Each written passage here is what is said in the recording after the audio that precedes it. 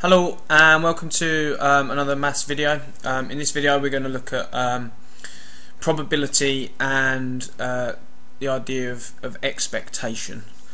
Um, the table shows the probability of choosing a counter at random from a bag.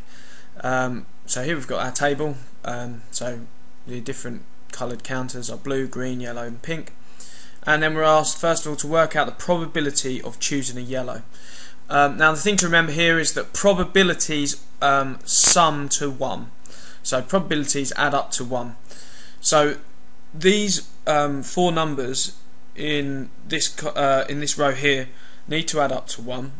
So what we can do to work out the missing one is simply do 1 minus 0.1 minus 0.2 minus 0.4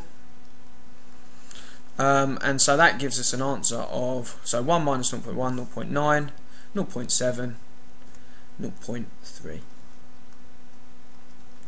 So uh, the probability of choosing yellow would be 0.3. We can then check that 0.4 plus 0.3 is 0.7 plus 0.2 is 0.9 plus 0.1 adds up to 1. Um, the second question, the bag contains 200 counters. How many of them are pink? Um, so the probability of choosing a pink is 0.4. Now to figure out how many of um, the counters must be pink, we can simply take 0.4 and multiply it by the number of counters that we've got. So 0.4 multiplied by 200 will tell us how many are pink. 0.4 times 200 um, gives us an answer of um, 80. So um, how many of them are pink? Answer there would be 80.